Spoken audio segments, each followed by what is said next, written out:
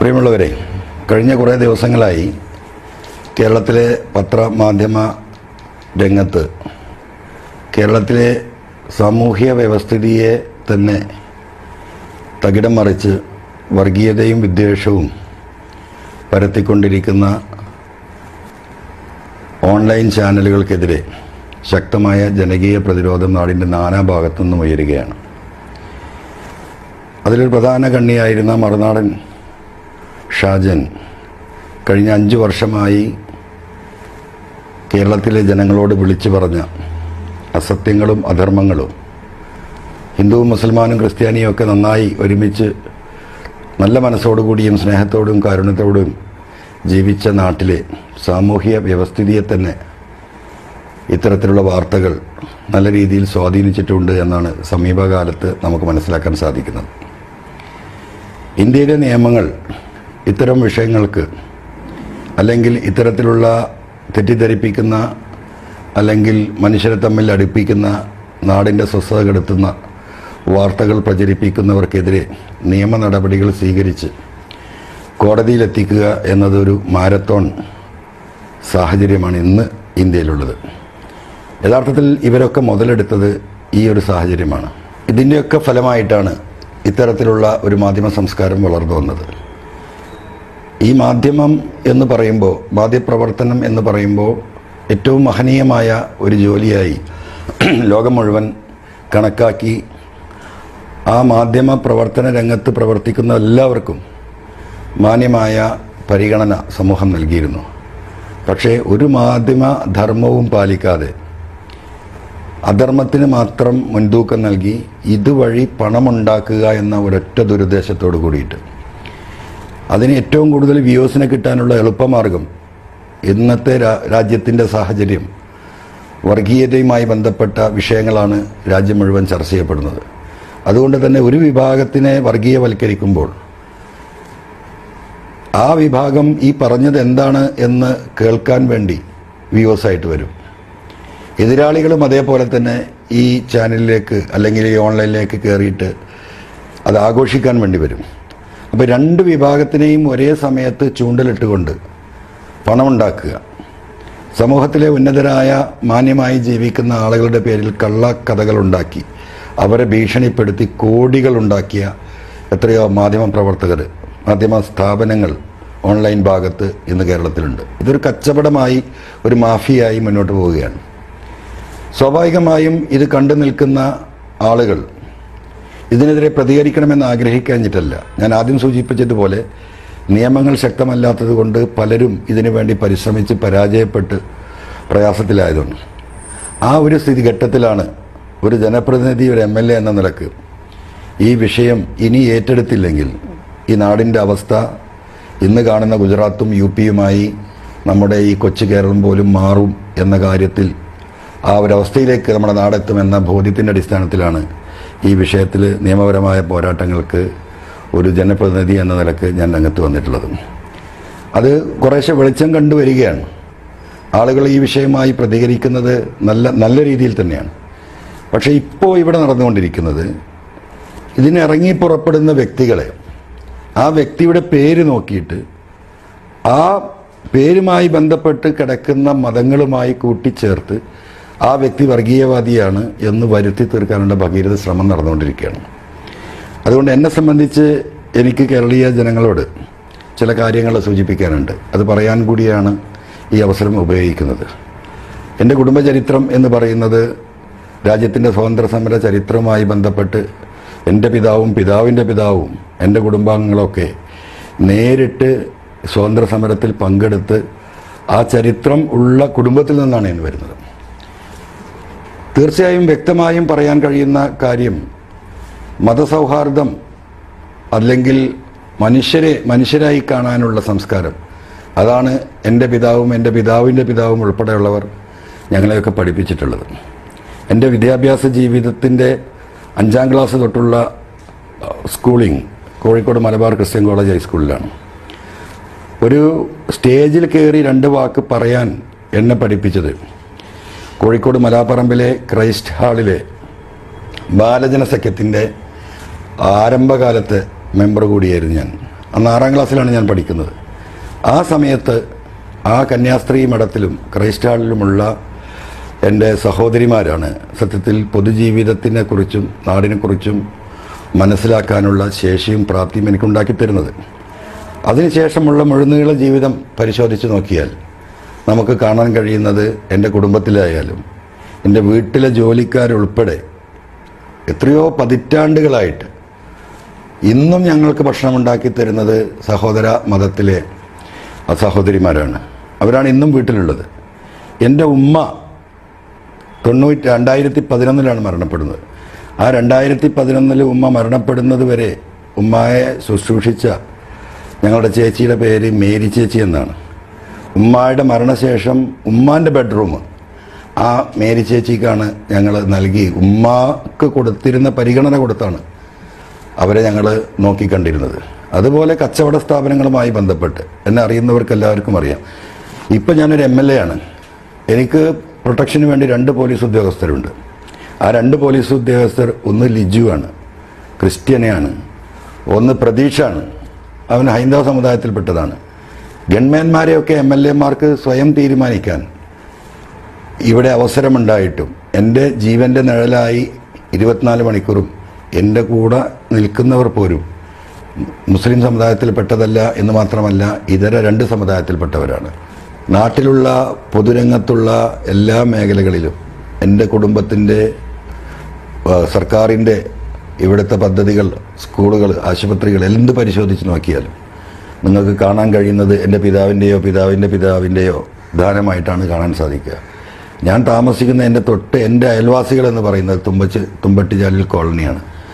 എന്റെ പിതാവിന്റെ കാലഘട്ടത്തിൽ അവർക്ക് നൽകിയ ഏകദേശം പത്ത് ഏക്കറോളം ഭൂമിയിൽ മുന്നൂറോളം കുടുംബങ്ങൾ ഇന്നവിടെ താമസിക്കുകയാണ്. അത് വീടിന് തൊട്ടടുത്താണ്. അങ്ങനെ ഓരോ മേഖലകളും പരിശോധിച്ച് നോക്കിയാൽ ഈ പറയുന്നവർ പറയുന്നതും ഇതിന്റെ യാഥാർത്ഥ്യവും കേരളത്തിലെ ജനങ്ങൾക്ക് പൊതുപ്രവർത്തകർക്ക് മനസ്സിലാക്കാവുന്നതാണ് എന്ന് നിവൃത്തിയില്ലാത്തതുകൊണ്ട് ഇവിടെ സൂചിപ്പിക്കുകയാണ്. എന്റെ കച്ചവടവുമായി ബന്ധപ്പെട്ട് പരിശോധിച്ചാൽ എല്ലാം അറിയുന്ന എല്ലാ മതസ്ഥരെയും ഒരുമിച്ച് കൂട്ടിപ്പിടിച്ച് മുന്നോട്ട് പോകുന്ന ഒരു സാമൂഹ്യ വ്യവസ്ഥിതിയിൽ ജീവിക്കുന്ന ഒരു കുടുംബത്തിലാണ് ഇന്നും ഞങ്ങൾ ജീവിച്ചുകൊണ്ടിരിക്കുന്നത്. അതുകൊണ്ട് കേരളത്തിലെ ജനങ്ങളുടെ മുമ്പിൽ പി വി അൻവറിനെ ഒരു ഫാസിസ്റ്റ് ആക്കാനോ അല്ലെങ്കിൽ ഒരു ഇസ്ലാമിസ്റ്റ് ആക്കാനോ ഉള്ള ശ്രമം നിങ്ങൾ എത്ര നടത്തിയാലും. ഈ മലപ്പുറം ജില്ലയിലെയും ഞാൻ ജീവിക്കുന്ന ചുറ്റുപാടിലെയും കേരളത്തിലെയും ഇന്ത്യയിലെയും പുറത്തുള്ള ഇതര മതസ്ഥരായ ആയിരക്കണക്കിന് സുഹൃത്തുക്കൾ ഇന്നും എനിക്കുണ്ട് അവർക്കൊക്കെ കൃത്യമായി അറിയുന്നതാണ്. ടി വി അൻവറിന്റെ മതേതര നിലപാട് എന്ന കാര്യത്തിൽ അതിനെ ഇനി കൂടുതൽ വ്യക്തമാക്കേണ്ട ആവശ്യമില്ല. ഈ വിഷയം ഞാൻ ഇവിടെ അവസാനിപ്പിക്കുകയാണ്. ഇത് കേരളീയ പൊതുസമൂഹത്തിനോട് ഇങ്ങനെ ഒരു സാഹചര്യം വന്നതുകൊണ്ട് മാത്രം തുറന്നു പറയേണ്ടി വന്നത് മാത്രമാണ്. അതോടൊപ്പം തന്നെ ഇന്ന് ഇവർ നടത്തിക്കൊണ്ടിരിക്കുന്ന ഇപ്പോൾ ഈ ഷാജൻസ്കറിയയുമായി ബന്ധപ്പെട്ട വിഷയങ്ങൾ ഇന്ന് കേരളത്തിൽ ചർച്ച ചെയ്യപ്പെടുകയാണ്. ഇപ്പോൾ കുറച്ച് ദിവസങ്ങൾ അദ്ദേഹത്തെ പിന്തുണക്കാതെ നിന്നിരുന്ന കോൺഗ്രസിന്റെ കുറച്ച് നേതാക്കൾ ഓരോന്ന് ഓരോന്നായി ഇപ്പോൾ രംഗത്ത് വന്നുകൊണ്ടിരിക്കുകയാണ്.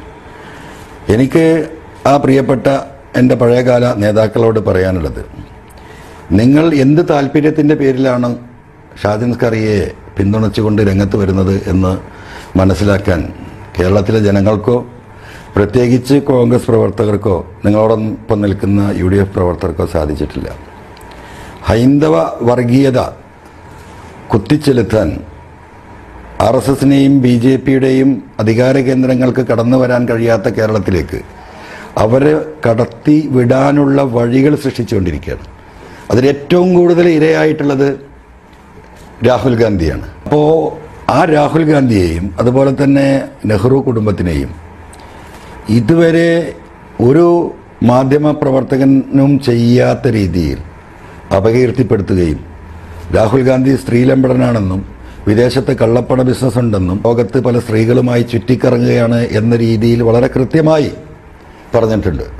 അതോടൊപ്പം കേരളത്തിലെ ഈ പറയപ്പെടുന്ന ഇന്ന് അദ്ദേഹത്തെ താൽക്കാലികമായി നാല് വോട്ടിന് വേണ്ടിയിട്ട് പിന്തുണച്ചുകൊണ്ടിരിക്കുന്ന K P C C president K സുധാകരനും രമേശ് ചെന്നിത്തലയും വി ഡി സതീശനും ശശി തരൂരും അടക്കമുള്ളവർക്കെതിരെ പറഞ്ഞത്. കോൺഗ്രസ് എന്ന് പറഞ്ഞാൽ ഇന്ത്യയിലെ ഏറ്റവും വൃത്തികെട്ട സംസ്കാരത്തിന്റെ ഉടമകളാണ് കോൺഗ്രസും കോൺഗ്രസ് നേതൃത്വവും എന്ന് ആവർത്തിച്ച് പറഞ്ഞിട്ടുണ്ട്. അതിന്റെ തമ്പനൈലുകളൊക്കെ ഇതിന്റെ കൂടെ ഞാൻ വിടുന്നുണ്ട്. നിങ്ങൾക്ക് പരിശോധിക്കാവുന്നതാണ്. ആ ഒരു സാഹചര്യത്തിൽ എന്തുകൊണ്ടാണ് ഷാജൻ സ്കറിയെ ഇവർ സപ്പോർട്ട് ചെയ്യുന്നത്? ഷാജൻ സ്കറിയയുടെ ലക്ഷ്യം ഇന്ന് കേരളത്തിലെ മുഖ്യമന്ത്രിയാണ്. മുഖ്യമന്ത്രിയുടെ കുടുംബമാണ്. ആ കുടുംബത്തിന്റെ അകത്ത് പോലും ആ കുടുംബത്തിന്റെ അകത്ത് ബെഡ്റൂമിലെ കാര്യങ്ങൾ പോലും ചർച്ച ചെയ്യപ്പെടുന്ന വൃത്തികെട്ട മനുഷ്യർക്ക് പറയാൻ കൊള്ളാത്ത സംസ്കാരത്തിന്റെ ഭാഗമായി നടന്ന വാർത്തകൾ. ആ വാർത്തകളാണ് ഇന്ന് അതിനു വേണ്ടിയിട്ടാണ് ഷാജൻ സ്കറിയെ വെള്ളപൂശാൻ വലിയ ശ്രമങ്ങൾ നടത്തിക്കൊണ്ടിരിക്കുന്നത്. അപ്പോൾ ഈ രീതിയിലാണ് ഈ നേതാക്കന്മാർ പറഞ്ഞുകൊണ്ടിരിക്കുന്നത്. രണ്ട് ദിവസം മുമ്പ് ബഹുമാനപ്പെട്ട തിരുവഞ്ചൂര് സ്വദേശാഭിമാനി രാമകൃഷ്ണപിള്ളയോടാണ് ഈ ചങ്ങാതിയെ ഉപമിച്ചിട്ടുള്ളത്. സ്വദേശാഭിമാനി രാമകൃഷ്ണപിള്ള എവിടെ നിൽക്കുന്നു എന്നും ഈ പറയുന്ന ചങ്ങാതി എവിടെ നിൽക്കുന്നു എന്നും കേരളത്തിലെ ജനങ്ങൾക്ക് വിലയിരുത്താൻ സാധിക്കും. അപ്പോൾ ഇത്ര വലിയൊരു സാമൂഹ്യ വിരുദ്ധനെ ഈ രീതിയിൽ ഉയർത്തിക്കാട്ടാൻ ഒരു നാണവും മാനവുമില്ലാതെ യു ഡി എഫിന്റെ ഭാഗം അല്ലെങ്കിൽ യു ഡി എഫ് നിയന്ത്രിക്കുന്ന നേതാക്കന്മാർ ഇറങ്ങി തിരിച്ചിരിക്കുകയാണ്. എന്നെ അത്ഭുതപ്പെടുത്തുന്നത്. കേരളം മുഴുവൻ ഇതിൽ ഇടപെട്ടിട്ടും മുസ്ലിം ലീഗിന്റെ നേതൃത്വം ഈ വിഷയത്തെക്കുറിച്ച് ഒരു വാക്ക് പോലും പറയാൻ ഇതുവരെ തയ്യാറായിട്ടില്ല.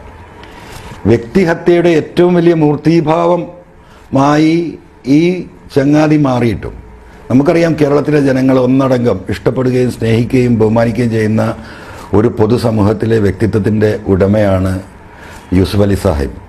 ആ വ്യക്തിയെക്കുറിച്ച് അദ്ദേഹം വർഗീയവാദിയാണ്.